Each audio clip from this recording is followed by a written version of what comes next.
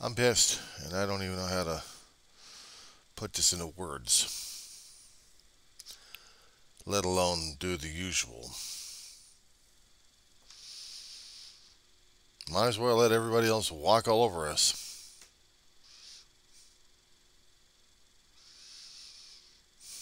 Apparently we have. Apparently we have. Well, if it's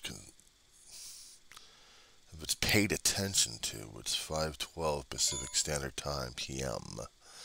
It's still the 18th of May, 2023. Uh, let's just say Florida fucked up, so did Tennessee at this point over here. I just found out about Tennessee. And Florida, shit, they're really, really going on the transgender people, I swear. No affirming care, no gender affirming care for minors. There's a ban on that. There's a ban on, on human dignity in Florida. But hey, you Floridians wanted this asshole in the in in office. You guys wanted all this damn shit. Why the hell would I be nice to you assholes if you don't be nice to your own people? Oh, I'm sorry. Do you consider transgender people? I mean, are they humans? Are they people? But you don't care for them? A little further up the up the east coastline, you have a state that's already had enough massacre and trauma and bloodshed, and the governor said he was going to help in it. Sure, he'd help in it. He'd help himself. You know what he did?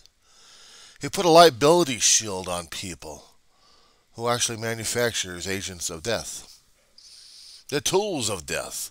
They must be protected under the Second, Second Amendment. They must be.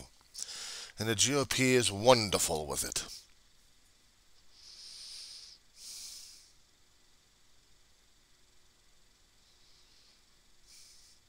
I don't even know how to put this more in words. Tennessee, you want the killings?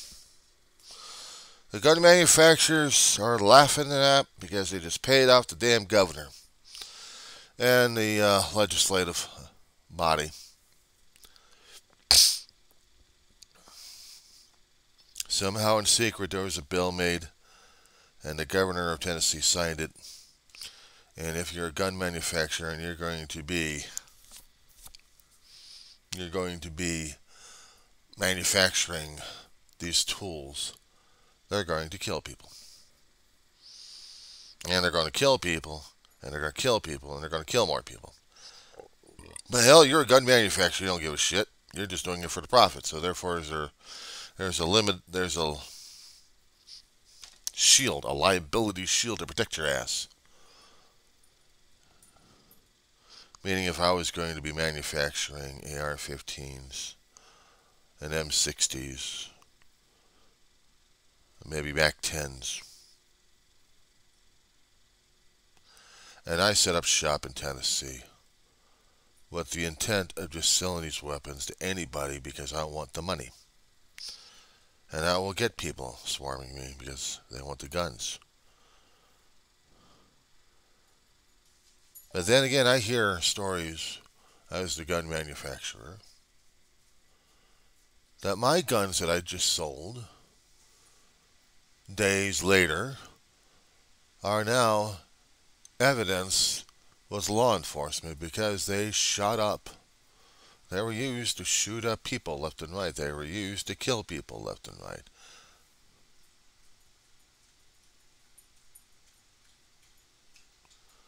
And in the process, kids were killed, mamas were killed, daddies were killed, brothers and sisters were killed. A massacre. Gunman pulled a gun on himself. But I'm going to listen to this stuff and I'm thinking, hey, the guns worked. Calls from the people who are demanding my head on a pike. And I'll be saying them, hey, the state governor here just said that I'm protected. I can mass produce all this damn stuff. You want to buy some to protect yourselves from me? I need the profits.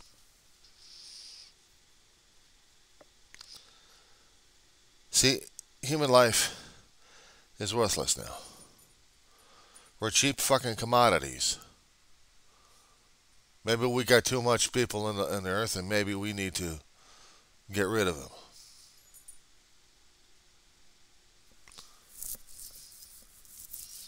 So it doesn't matter if anyone lives or dies. Maybe a gun manufacturer in a state that just allowed protection laws for the manufacturers, I'm going to say, well, let's do some surface population control. I have the tools. I'm selling it out to people left and right. Hell, I got a mail order system going on right now. I'm selling. I'm selling the weapons because my manufacturing plant is full and operating people who are just making the guns and want to make a living and don't want to make the money and don't have the heart to say that human beings of any sorts matter. No, we have gun enthusiasts want to shoot up anything and everything, and we're we're going to supply the uh, ammunition. We're going to supply the mechanizations. We're going to supply everything that makes you feel less human. Oh, by the way, we're willing to ship to uh, Florida at this point over here and see what uh, what we can do down there. And if you have any transgender people, well, we don't care now, do we? We're the gun manufacturer of this particular state. I just put up a liability shield for us to make our weapons of death. So now we'll go to the different states left and right and we'll prove our hardware the ammunition are sound.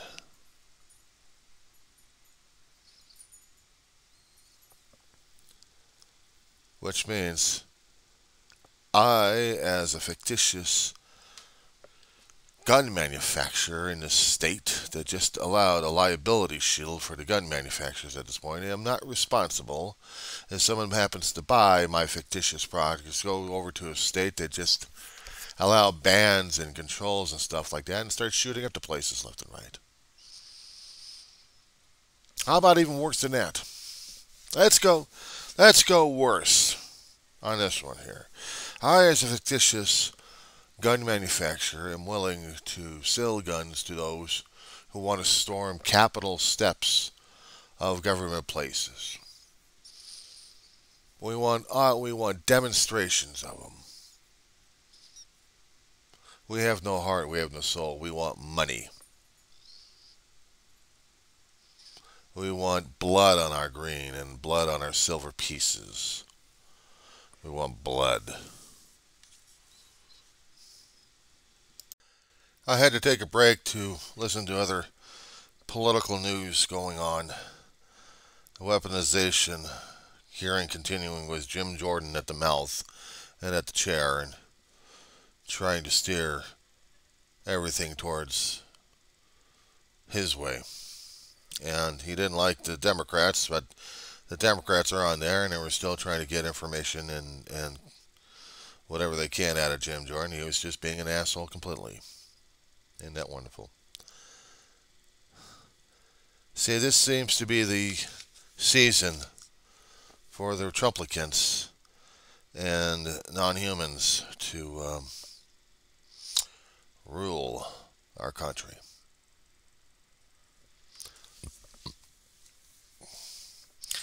Apparently, people who are different are bad.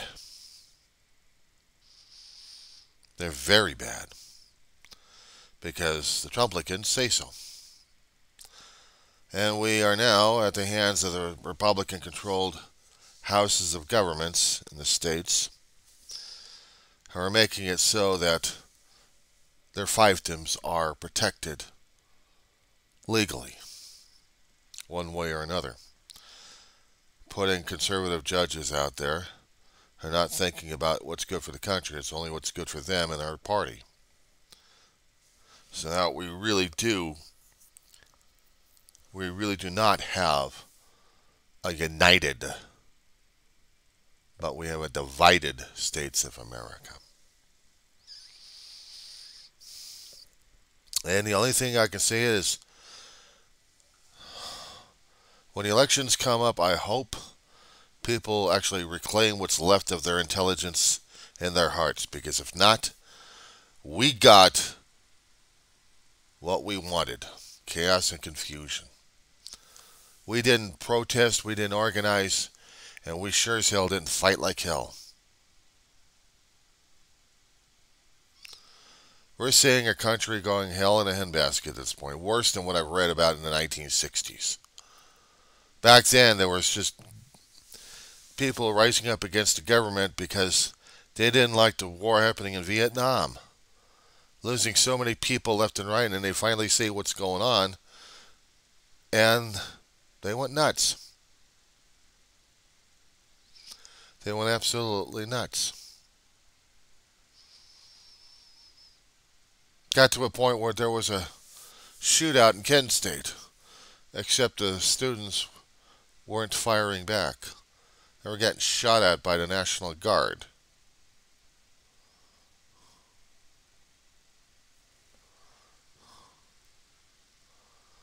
Or dead in Ohio. Crosby, Stills, and Nash and Young actually made that song in response to what the Kent State Massacre was.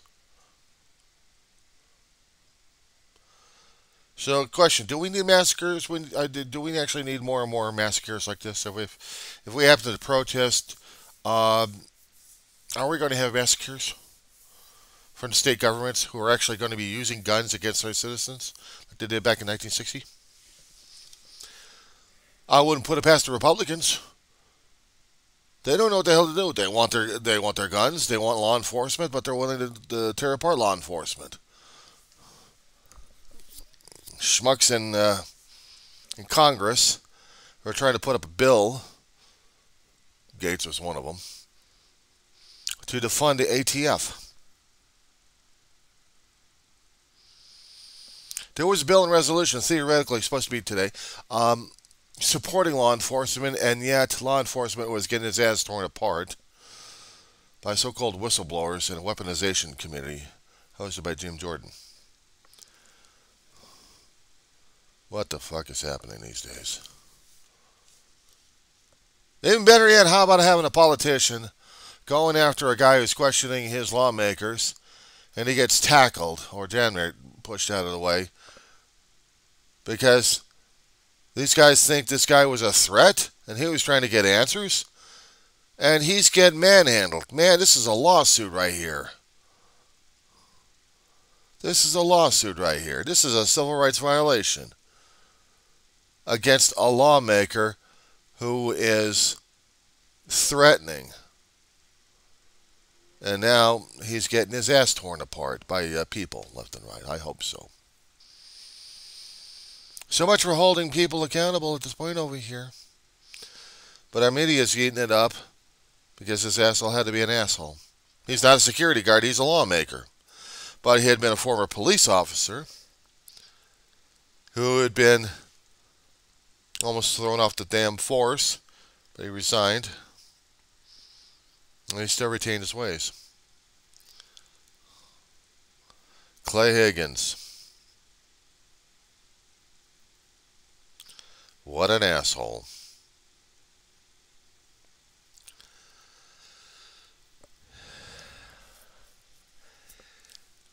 A former police officer who uh, engaged in violence.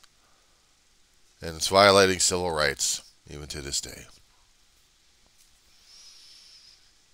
And then you have Marjorie Taylor Greene, mouth of the South, supporting that action. And then spinning her own damn bullshit.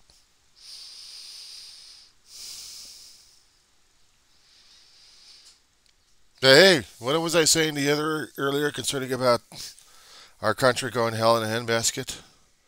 According to the GOP, we're fine. We got to put a lockdown on anything and everybody.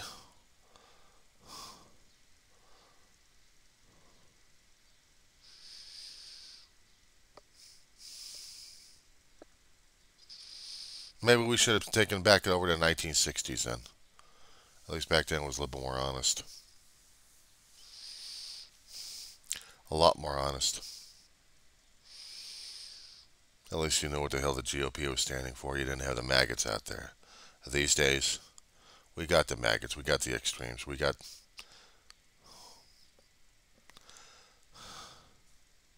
So maybe we ought to have our, our citizens shot up.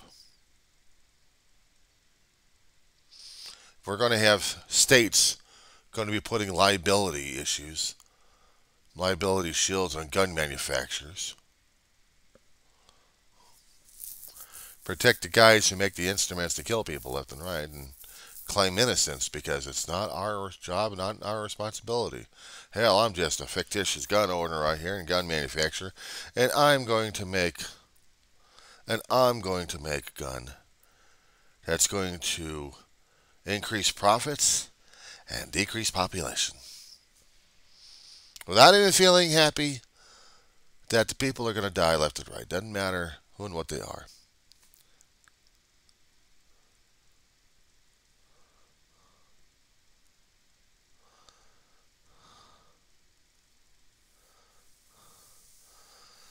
Hey.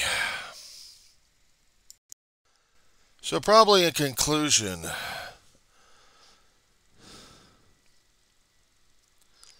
America gets everything that it deserves. The people are not pissed off, but they're brain dead. They want this country the way it is, going downhill, then who am I to argue? except I'm arguing. I'm sick and I'm pissed off at my own countrymen. I doesn't give a shit about the doesn't give shit anything else about themselves. It's the only thing they it's the only thing they want is things for themselves. How does that grab you? If we happen to get into another mass shooting, I'll blame the people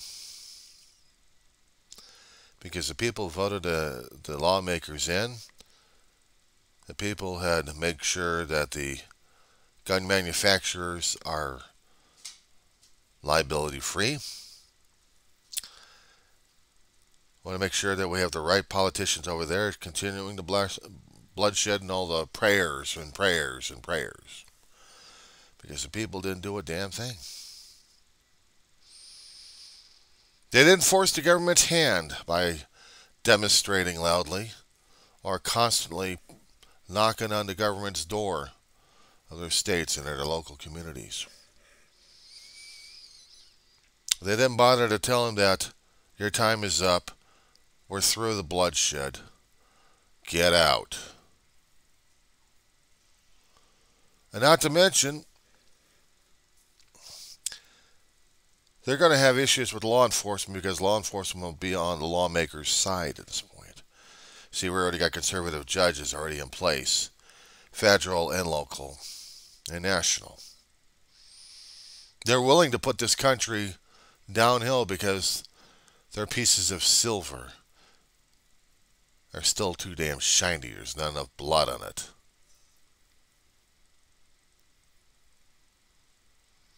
There's not enough blood on it. So, we haven't made anybody sick enough.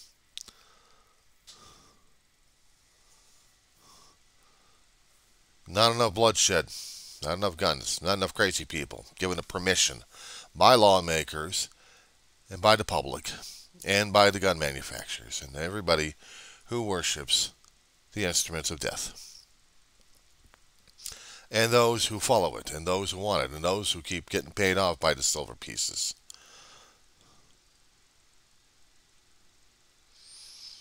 Those are willing to go to Congress and lie their asses off and say, but it's the other guy's fault. We didn't do anything except something to piss off our our employers at this point over here by jeopardizing the safety of our country. But you know, screw the country. We still want our bases. We still need to get our families fed. And this guy was was kind enough to to pay us.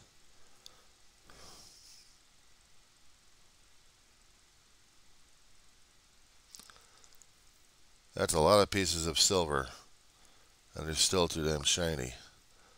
They're not tarnished enough with red. But hey, you folks want this. United States, I'm sorry, the divided states of America. While the other countries are laughing their asses off at us, the ones who really hate us the most, and they're willing to step back and watch us self destruct. Hell, we voted in a gas bag a while ago and voted in extremism in different places. So, yeah, might as well see our country go hell in a handbasket. We'll blame everybody else. But we won't take accountability, responsibility, or transparency at this point over here. We won't say it's our own damn fault. It's the other schmuck's fault. Let him be the target. Welcome to our country.